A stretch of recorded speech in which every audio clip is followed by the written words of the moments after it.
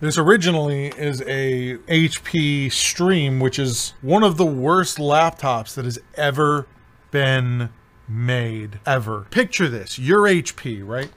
You're like, how do we rip people off the whilst like seemingly selling them a product that they need? We make a computer that only has 32 gigs of storage, has Windows 10 on it, like not S, just Windows 10, and can't do updates. But hey, it's got a screen that is a touch screen and it's blue. And we'll charge them 299 for it. What if you want to update this? Well, no, you can't do updates. Oh, okay. What if you want to replace the hard drive in this?